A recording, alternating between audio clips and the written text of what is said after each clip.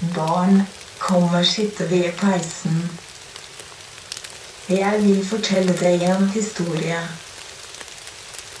Husk historien om saftdrikker? Han drepte mange, med i navnet til Lodin.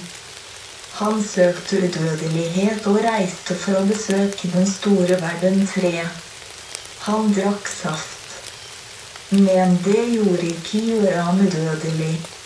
I stedet viste det seg et troll. Han ble kjent som Grendel. Dere vet alle om den store Beulf som drepte Grendel. Grendel var en gang en stor konge av menn. Han søkte ikke hva han hadde, men hva han ville aldri komme.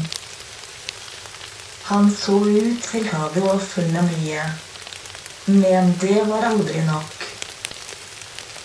Han ledet hærer og krever landområder og rikdommer for ham. Han hadde en stor mjødhold med de beste festene i hele landet. Han ble født definert.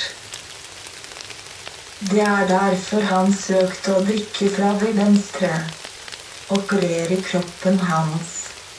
Som et troll snudde han til blodet av mannen. Han mente at ved å drikke manns blod ville han bli menneske igjen. Men det var aldri svar. Omsider vikingøls vokste lei av dette dyret. Så de kalte for Beulf å ødelegge ham. Beulf var grendelen.